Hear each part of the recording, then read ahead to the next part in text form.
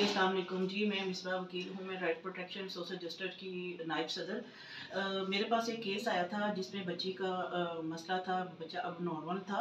तो इनकी फैमिली बहुत परेशान थी। तो मैं इनको इधर लेके आई। जितना मेरे से हो सका मैंने ताउन किया है।